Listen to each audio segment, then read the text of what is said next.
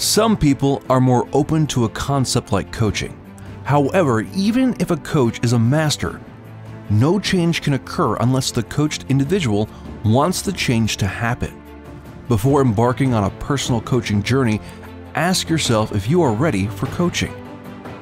This readiness, known as coachability, refers to the person's willingness to work on improving self awareness to more effectively remove obstacles to achieving their goals.